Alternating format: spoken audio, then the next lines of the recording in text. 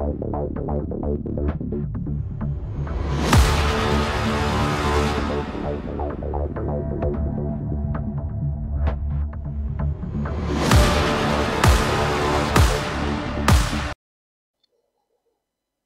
दोस्तों, मैं हूँ आपका दोस्त, आपका होस्ट आर के और आप देख रहे हैं आर के ट्रेडिंग दोस्तों, आज तारीख है 30 दिसंबर 2019 और कल के लिए यानी 31 दिसंबर 2019 के लिए यहाँ पर हम लोग निफ्टी के आईटी स्टॉक्स के एनालिसिस करेंगे, देखेंगे कौन सा आईटी स्टॉक किस लेवल पे खड़ा है, कहाँ सपोर्ट ले रहा है, कहाँ रजिस्टेंस ले रहा है।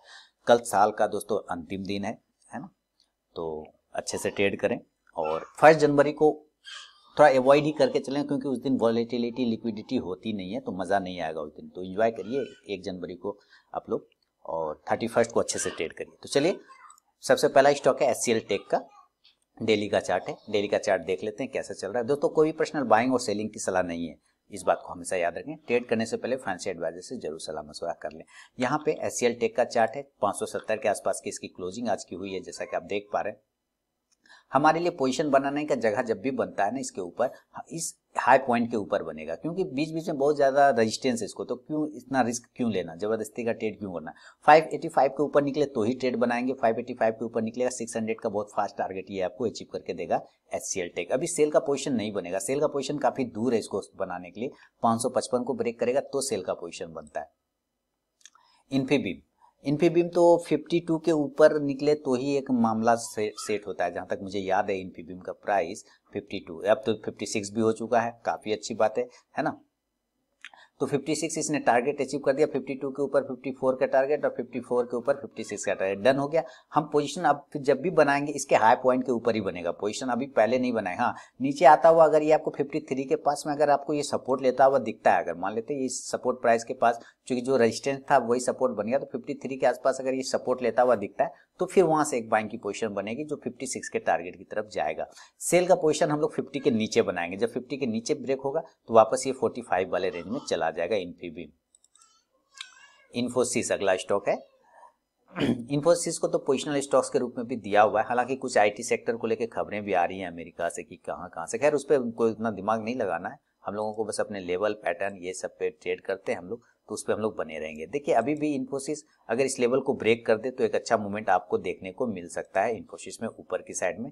अगर ये 740 ब्रेक करता है तो बहुत अच्छा टारगेट आपको देके जाएगा इन्फोसिस आप देखिए ध्यान से, इन्फोसिस ने यहाँ पे बिल्कुल आके एक, दो, तीन, चार, पाँच छः सात, आठ आठ कैंडल, बिल्कुल आठ कैंडल एक जैसी ही बनाया है, सेम रेंज का बनाया है, लगभग लगभग। अगर एक, दो कैंडल को इग्नोर भी कर दें तो एक जैसी कैंडल देखने को मिलेगी, यानी एक रेंज बना लिया, ऊपर की तरफ़ में 740 का रेजिस्टेंस ले रहा है और 720 का सपोर्ट ले रहा है। इस दोनों रेंज से जिधर भी स्टॉक्स निकलेगा, उधर का तेज मूवमेंट स्टार्ट करेगा इन्फोसिस।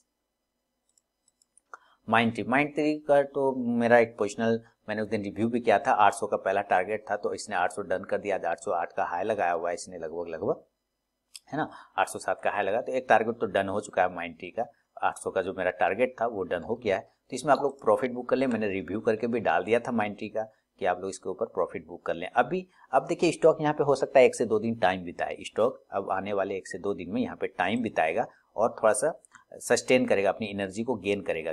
और अगर इसको रिस्टार्ट करना है अपना जर्नी तो एक बार 810 के ऊपर इसको ब्रेक करना चाहिए। 810 को इस बार अगर ब्रेक करता है तो 850 का एक टारगेट आपको पोजिशनल देखने को मिल सकता है माइंट्री में। नीचे अगर ये वापस से ब्रेक करता है, अब 200 डीए में है ये तो ये, यही इसका इंपॉर्टेंट सपोर्ट है। अभी अगर इसको सात सौ पचासी नीचे अगर ये ब्रेक कर दे, सात सौ अस्सी ज़्यादा बेस्ट है तो फिर ये थोड़ा वीक हो जाएगा, जो कि सात सौ साठ तक ला सकता है इन्फोसिस को। सॉरी माइंट्री को। अगला स्टॉक है एनआईटी टेक चलिए एनआईटी को भी देख लेते हैं। एनआईटी टेक बहुत अच्छा है। जगह पे बहुत बढ़िया जगह पे खड़ा है। एक ब्रेकआउट का वेट कर रहे हैं हम लोग। एनआईटी टेक 1630 के ऊपर निकलेगा। एक ब्रेकआउट तेज़ी से, धांसू ब्रेकआउट देगा जो स्टॉक तो मूवमेंट वाला है ना। स्टॉक तो इतना फास्ट मूवमेंट है कि आपको देखते देखते टारगेट वर्गेट सब देके बाहर कर देगा, इतना फास्ट चलता है तो एक बार जैसे ही ऊपर की तरफ़ निकले ना, अगर ऊपर की तरफ़ 1630 को निकले तो 1650 और 60 के टारगेट के लिए फिर पोजीशन बनेगा एनआईटी टेक में। और नीचे अगर ये ब्रेक कर देता है 1550 को तो फिर ये वापस से वापस 1480 तक के टारगेट दिखा सकता है। अगला स्टॉक है ओ एफ़ एस एस का दोस्त। ओ एफ़ एस एस इस कैंडल ये एक्चुअली ना ट्रेडिंग वाला है ना, लेकिन फिर भी कोई बात नहीं, आप लोग अगर ट्रेड करते हैं इस पर तो मैं एनालिसिस तो करूँगा ही, जैसा कि पिछले बार भी कहा था कि 2800 के नीचे जाएगा तो एक बार सत्ताईस का लेवल आपको दिखाएगा। इसने सत्ताईस तक का लो लगाया है, और अभी भी वहीं पे है, अभी भी वहीं पर है तो इसमें हमें पोजिशन नहीं बनाना पोजिशन हम अब बनाएँगे सत्ताईस के नीचे। सत्ताईस के नीचे बनाएँगे, फिर छब्बीस का टारगेट देगा। लॉन्ग पोजिशन बनाएँगे कब? जब ये 2850 के ऊपर क्लोज करेगा। जब 2850 को क्लोज करेगा तो 2950 तक का एक टारगेट देगा O F S S Tata Elxsi अगला स्टॉक है। बिल्कुल टाटा इलेक्सी देखिए, ये बहुत ही जिसको कहते हैं ना क्रूशल लेवल बिल्कुल क्रूशल लेवल पे ये स्टॉक्स खड़ा है। क्योंकि काफ़ी ज़्यादा नज़दीक में ही 200 डीएमए का सपोर्ट है इसको। और वहीं से ये एक से दो दिन देखिए, ये बाउंस बैक ले रहा है। यानी काफ़ी क्रूशल लेवल में, अगर ये गलती से भी 810 को ब्रेक कर देता है तो तेज डाउनफॉल दिखाएगा, जो कि लगभग 780 पर ले जाकर रोकेगा इसको 810 को ब्रेक करते के साथ। और ऊपर अगर ये ब्रेक कर देता है दोस्तों तो अगर ऊपर ये आठ पैंतालीस को ब्रेक करता है तो एक टारगेट ऊपर 880 को देखने को मिल सकता है टाटा इलक्सी में। टीसीएस है अगला स्टॉक चलिए टीसीएस में एक पोजीशन बनाएँगे, लेकिन कब? जब 2230 को ऊपर की साइड में ब्रेक करेगा, तब 2230 को ब्रेक करेगा, एक टारगेट आपको तुरंत से अचीव करके देगा 2260 तक का एक टारगेट मिल सकता है। नीचे अगर सेल का लेवल एक्टिवेट होता है 2170 के नीचे 2170 के नीचे निकलेगा तो एक बार 2130 तक के सेल के लिए पोजीशन बन सकता है। टेक महिंद्रा।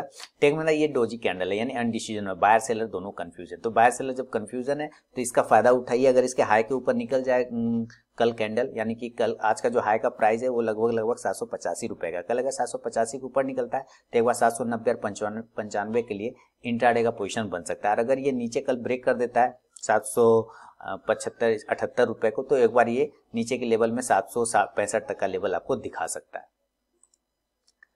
अगला स्टॉक है विप्रो। चलिए, विप्रो। देखो दोस्तों, विप्रो में अभी पोजीशन नहीं बनाएँगे। विप्रो, आप देखेंगे राउंडिंग बॉटम पैटर्न तो बना रहा है विप्रो। बार बार इस लेवल को टेस्ट कर रहा है विप्रो। मैं यहाँ पर से मार्क करूँ अगर तो आप देखेंगे इस लेवल को ये टेस्ट कर रहा है बार बार विप्रो इसको टेस्ट करने की कोशिश कर रहा है, ब्रेक करता है, ब्रेक नहीं कर पा रहा है। जब इसको ब्रेक करे ना ऊपर की साइड में, यानी कि ये जो लेवल हमारे आएँगे कम से कम 270 का 270 ब्रेक करेगा तो सेफ़ पोजीशन बनेगा। अभी हम लोग थोड़ा विप्रो से दूर रहे तो ज़्यादा बेस्ट है। कल अगर इंटरडे में दो सौ पैंतालीस ब्रेक करेगा तो एक बार दो सौ चालीस के सेल के लिए पोजिशन बनाया जा सकता है विप्रो में। तो दोस्तों, ये था निफ्टी आईटी स्टॉक्स पे मेरा अपना व्यू। अगर पसंद आता है वीडियो तो लाइक कीजिए।